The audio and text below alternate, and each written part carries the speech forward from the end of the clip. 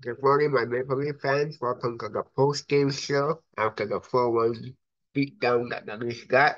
I'm going to take you live to the uh, post-game. So I hope you enjoy the post-game. And after it goes Saturday, the, yeah, the, the beer, the, all the drinks, all the alcoholic drinks on ice for Saturday. If the Leafs can beat the Montreal Canadiens this weekend, we'll click spot and all the people can party hard. All right, I'm gonna take you live to both game. Enjoy.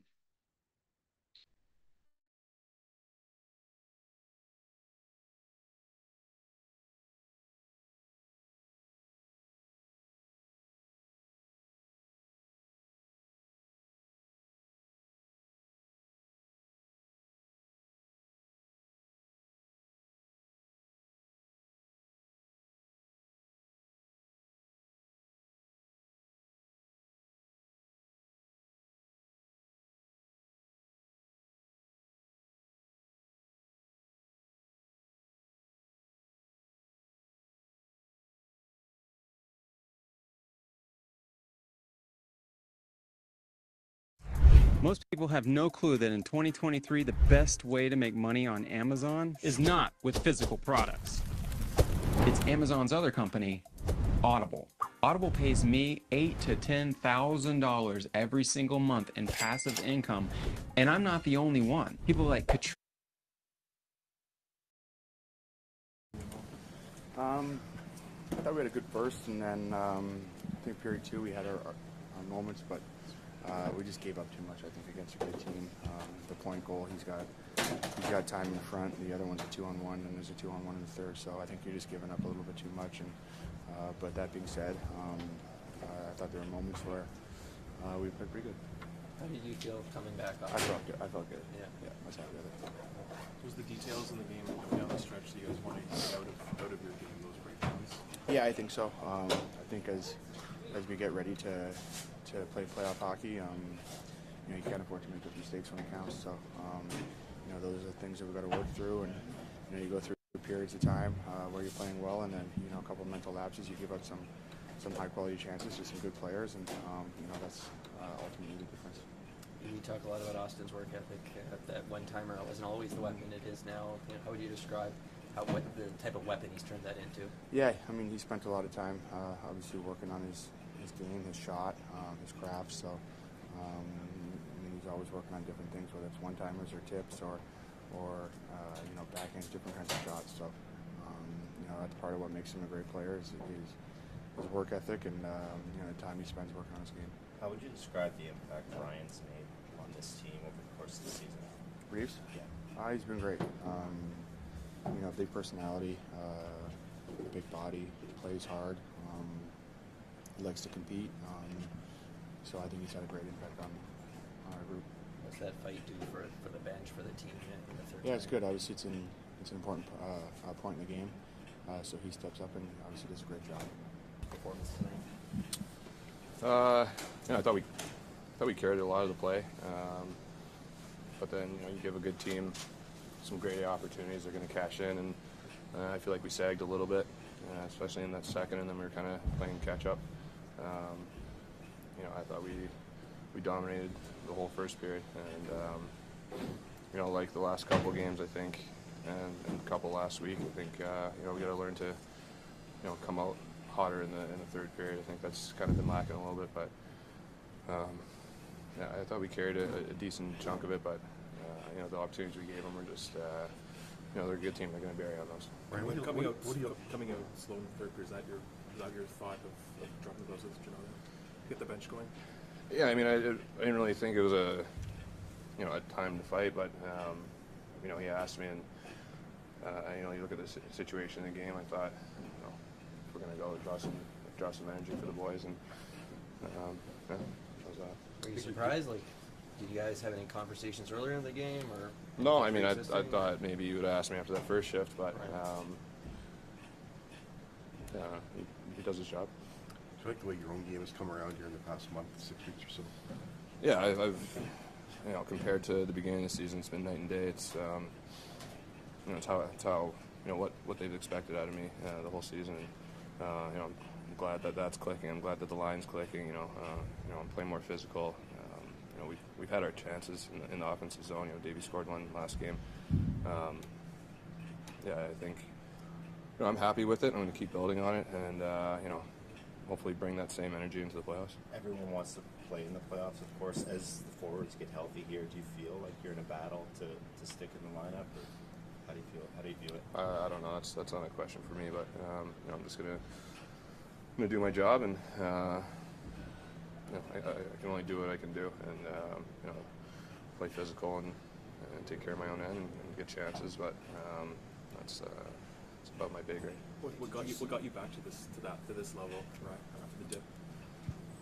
Oh, man, you know, I think uh, you know that, that month, month and a half that I was out, um, you know, I used that as a mini training camp. I, I worked, I worked hard. Uh, you know, I bagged. I worked on uh, everything that I could. Um, you know, I was doing two, three a day sometimes, and um, just trying to get confidence back. You know, confidence is a real thing, and um, you know that's the first time I've probably gone through something like that in my career where I just felt like um, nothing was going right, and uh, I just felt like I had no confidence, and um, you know, I just used that opportunity to try and build it back. And um, you know, coming off of the break, I felt like felt like my game started, you know, getting a little bit better, and then uh, just been building that ever since. Uh, 80's probably not going to happen, but Austin's kind of moving towards 70. How much is that kind of fueling you I guys? wouldn't count him out yet. Okay, all right. How much do you think it's rallying the group, like to see what he's doing? Yeah, I mean it's been it's been unbelievable all year. Um, it's, it's fun to watch. You know, you're watching history, you're watching Maple Leaf history. So um, yeah, we rally behind him and uh, hope he keeps going, and uh, definitely hopes he carries it into the postseason. What's the most you've seen this season before? For anyone you've played with? That would be it.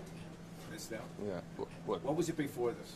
most goals? Yeah, who had the most goals of anyone you played with? Uh, I don't know. I'm not a stats guy. I don't know. You're asking the wrong guy.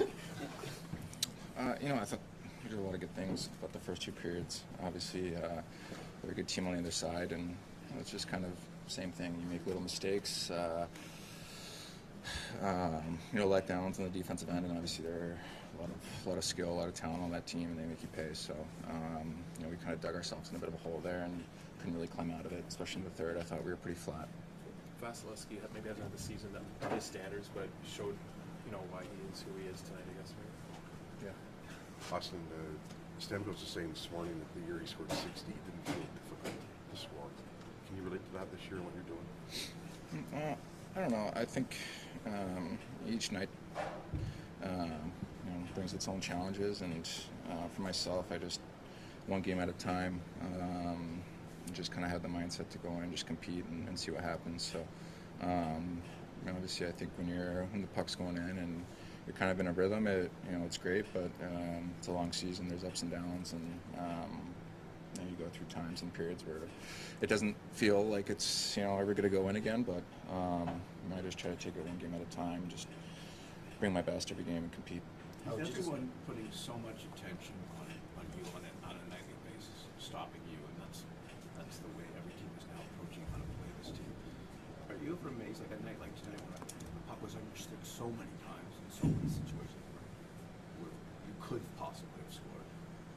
Um, I mean, I think it's not necessarily anything like new. I mean, um, you know, I know teams want to play me hard and try not to give me space, and um, you know, just try to play through pressure, use my teammates, um, you know, move off, moving off the puck. I think is a big, big key, and um, you know, against uh, goaltenders like you know, guy we played tonight, you got to get to the net, and a lot of times it's not the pretty goals, and so.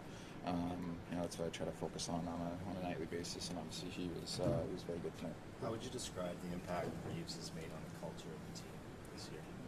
I think he's been he's been great. Um, I didn't know him really too much uh, before, just little interactions here and there. But um, I think he's a great teammate, and he's brought a lot of energy, a lot of uh, you know positivity to the group. And you know, I think over the last month or so, he's been playing uh, some of his best hockey since he's been here, and you see the impact he makes, obviously on the ice, um, the way he plays, uh, his physicality, um, fighting. Uh, and then just on the bench, the, the energy that he brings in the locker room and everything like that, it's uh, it's infectious. So um, you know, it's been a lot of fun to play with him, and I think you can just see that throughout the throughout the group uh, what he brings. It's hard to believe that he might not have confidence, but he just told us he was lacking confidence. What is he showing you, especially the last six weeks as he's worked his way back? Well, he seems. Um, I mean, I think a lot of guys put in a lot of work you know, with the time before practice, with skills work, just working on little individual things, and um, you know, he's one of the guys that's always out there working uh, on his game and um, trying to get better in, in, in, certain areas, especially with the puck. And you can see, uh, I mean, in my opinion, he's had a lot more confidence with the puck and he's made made plays. And um, he sticks to his game still, but uh, I mean, he's been flying over the ice. And obviously, when he when he brings that physicality, when he you know makes those hits, and you can hear the crowd get going, it obviously gets a lot of uh, energy into the atmosphere on the bench, and uh, you can feel that um, you know throughout uh, throughout the team. And it obviously brings a big positive momentum shift for us. Ryan was just saying that uh, he feels like the whole group here is kind of invested in what you're doing, pushing you forward. You framed it as a team accomplishment, 60 goals in Buffalo. What's it mean to you that the guys are, are kind of involved in this with you?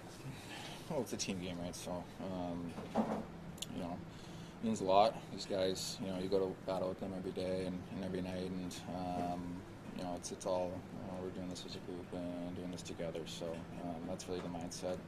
Um, you know, we're just trying to win games. Um, yeah, just uh, a couple goals, a couple odd man rushes. Um, that ends up being the difference. Uh, I thought we looked good. I thought we had a good, good amount of opportunities. I thought the game was, um, you know, not necessarily favored one way or another. It just comes down to a couple shots. What's it like for you as a relatively newer goalie when you look across and see a, a legend, really, like Vasilevskiy, you're going head to head? What's that feeling?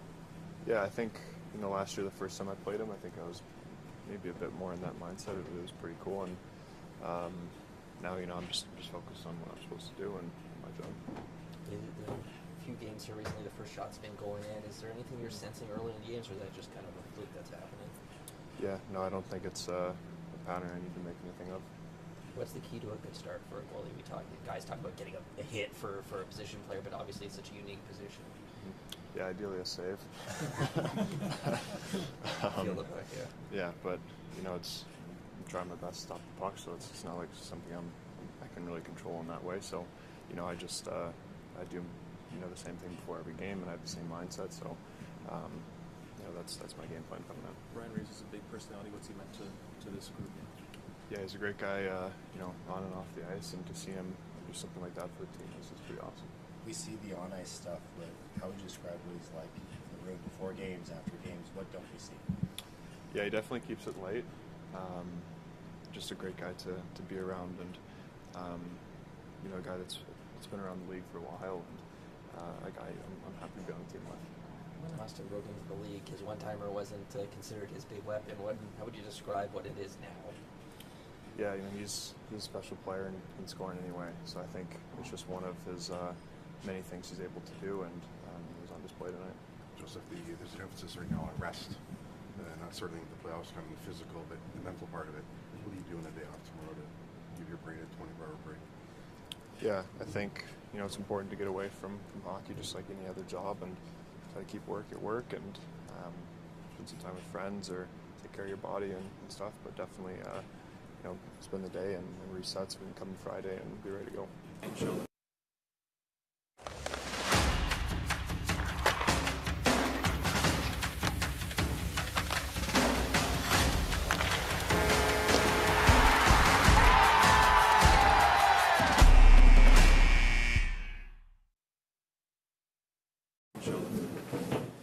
Uh, I thought uh, really liked our first period. Liked lots about uh, our first period defensively was outstanding. Didn't didn't give up a shot for the first ten minutes of the game. Uh, so that was really good. Our penalty kill was outstanding tonight. You know, against the toughest challenge in the league. You know, you win a special teams battle tonight against the, you know, from look at power play penalty kill perspective. It's you know, the, right at the top of the league in terms of the challenge on special teams. And we win the special teams battle tonight. When you do that against this team, you should, you're putting yourself in a pretty good spot to win the game. Which ultimately, I think we were in a pretty good spot to win the game, but um, we made a, we made a few more mistakes than they did. You know, they they played a really good, smart defensive game.